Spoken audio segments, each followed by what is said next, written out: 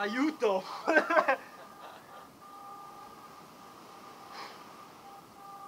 Dai Andrea! Adesso devi solo salire, cazzo.